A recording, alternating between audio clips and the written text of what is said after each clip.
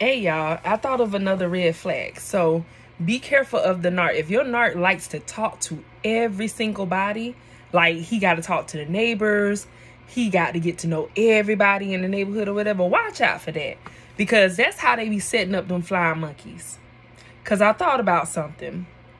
You know, it, I was actually asked a question and it made me think a little further in. And I'm gonna get to a question after a while. Um, Scorpio Caria, I'm gonna respond to your message, your comment. So, um, but right now I'm gonna just tell you about my red flag that I want you guys to be aware of. So we moved to this neighborhood and I mean he got to know everybody around here. He really did. And if you if they didn't like him back or interact with him and stuff like that, he would be mad at them. He would come back home and be like, "Oh, that itch didn't speak to me." Or every time I speak to him, he don't never say nothing back. I'm like, why you concerned about that? These people out here ain't that important. What you getting your draws all up in a bunch for? Because these people ain't speaking to you. I don't speak to everybody when I come outside. I don't even know everybody in our neighborhood. But he know everybody and he know everybody business. He got to know each and every one of these people out here in this neighborhood. And I don't know nobody like that. Because I stay in the house, first of all. I go to work, I go grocery shopping, I go to church, and I'm back home. I stay in the house. I like people and I like chilling with people sometimes, but I like to be alone. I don't mind just chilling in my room and that don't make me antisocial or anything because when I get with a clique or get with people, I know how to mingle with everybody or whatever. But I'm thinking that's how he was setting up his flying monkeys to watch over me. Because when I think back on some of my stories of how he came back in to Hoover and gaslight me, was only when I started to move on. Long as I was single and not talking to nobody, or I'm just staying in the house, I ain't going nowhere, he wouldn't talk to me. Sometimes that's six months. Sometimes it well, it ain't never went over six months. It's went six months and shorter. But if he get wind of something going on or I'm trying to move on or whatever, that's when he comes back in. But be careful with them always talking to the neighbors and this different things like that because they're baiting them up. They trying to set them up to be their flying monkeys so that way when they discard you, they still got eyes on you while they're gone, still controlling the situation. So that was a red flag I wanted you to be aware of. Like, yeah, if they gotta talk to everybody in the neighborhood where y'all live at, it might be something up with that. He might be trying to set up some flying monkeys to watch over you when he's gone or when she's gone or however it is. But yeah, just keep that in mind. So I had two questions from Scorpio Caria. How you doing, boo? Okay. So your first question was, has he been contacting you and trying to get back with you? I'm going to say at this moment, no, he hasn't. It's only been about a month now. So I'm going to say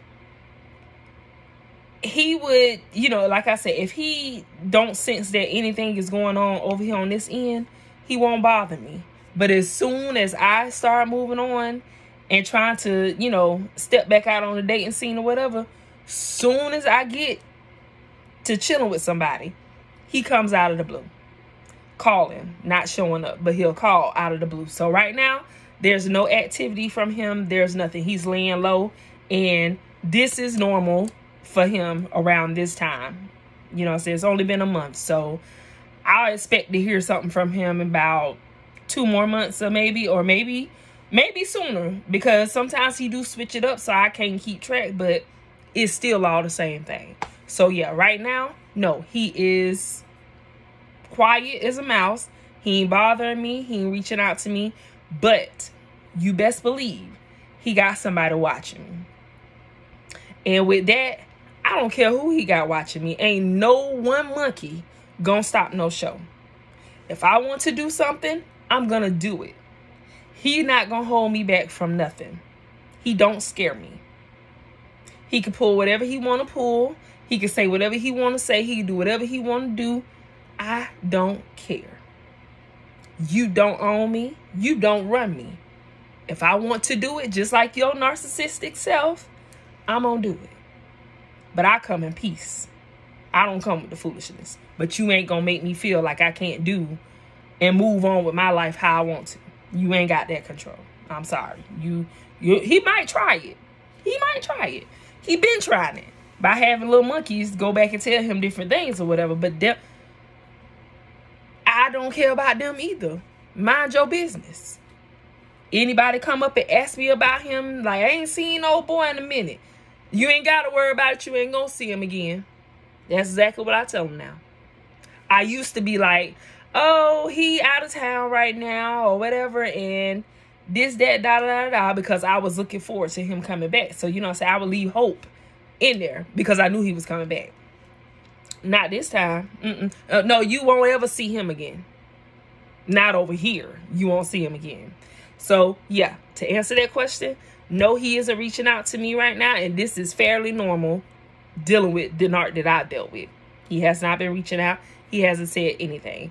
One person came and asked me about him, and I just I, I cut him off right there. Mm-mm, don't say that name. Don't don't even ask about him. You ain't gotta worry about him no more. So that's the only thing that's happened so far. But later on, he'll show his head. He will. Um, then she asked, Do you know if he watches your videos? And if he does, has he said anything? Don't know if he watching my videos, but I definitely know he got other people watching my videos that'll go back and report to him or whatever. But like I said, he quiet right now. He ain't said nothing. I don't really know if he remembered my YouTube name or whatever. And if he did, it is what it is. You know what I'm saying? At this point, I don't care. I'm just telling the truth and trying to wake up as many people as I can wake up. So if he hears about it or see it, it is what it is. I don't care. I ain't telling no lies. And who gonna check me? So I think that he has people well because we're from the same area, same town or whatever. A lot of the people that I'm friends with on Facebook, they know him as well. So there's no telling that if I'm posting anything, are they sending it to him? But I don't really post nothing on Facebook anyway. I'm nosy. I like to look at other people's stuff. I post little stuff here and there, but after that one relationship where I had this big fallout on Facebook, I cut that out a long time ago. So now I post what I want to post and I keep my personal business to myself. So if they telling him anything, they ain't doing nothing but telling him I glow up. So that might run me in too because you know they love that. They love to come jump on the bandwagon when you're doing good. And then they want to snip snatch all that from you and leave you high and dry. So at this point, it's pretty quiet and this is normal for me. I usually have about six months, sometimes shorter, where I don't have I don't have no issues with him. But it's it seems like every time I be like, all right, I'm good. I feel like he got my hair. I feel like I'm about ready to start back, you know, easing my way back into the dating scene or whatever. Then here he goes because that one story I told y'all about about the 4th of July, he had discarded me. I hadn't heard from him for six months. 4th of July, I decided to have a friend come over and spend the 4th of July with me. Out of the blue, I'm getting messenger, FaceTime messages from him, phone calls from him. He don't never, when he coming back in for a gaslight or Hoover, he never calls me video chat.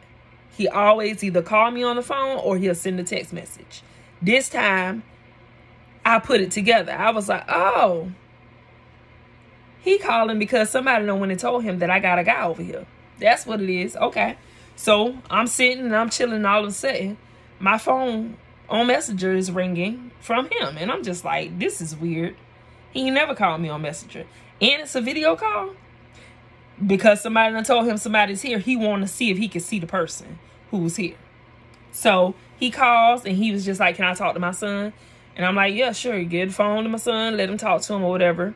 He is not his dad, but they have a father and son relationship or whatever. So get him the phone, let him talk to him, and they did their thing. And he hand, my son got done talking to him. He handed the phone back to me.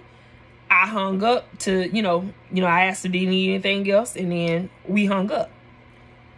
About an hour later, he calls back again, video call. And so at this point, I'm just like, I'm just finna keep it real because at this point, this is weird. So I'm just like, hey, what, what, what's up? Why you calling me video chat? One of these little jokers around here told you I got somebody at the house. I say it's true. I do. I got a man here chilling with me for the uh, 4th of July. What what you need? What you trying to see what's going on? He's like, oh, no, no, no. Oh, oh, oh, you got company? Oh, it ain't no pressure. It ain't no pressure. Yeah, it is. It was a whole lot of pressure. Because then shortly after that happened, he came strolling his trolling his behind down here, up here, to come play that little game that he played with me where he came in, took my goodies, and then grabbed his stuff and left. Yeah, that was the same incident. Mm-hmm. Crazy. But I caught on to it. I'm like, somebody, ain't no way he knew somebody was here. Because I ain't talking to him. My family members ain't calling him and telling him nothing. So, somebody around here watching. And there are still people around here watching me. But I stay in the house. Watch my car all day long if you want to, baby. I ain't hiding nowhere I'm going. If I'm going somewhere, I'm going somewhere. You will not have me scared to go this place and go that place. You won't have me that way. Mm-mm. You won't. I bet you won't. So, if he is watching these videos, all I can say is find the lies. But because you're a you ain't gonna ever take accountability for nothing you did anyway. So leave me be. Let me do me.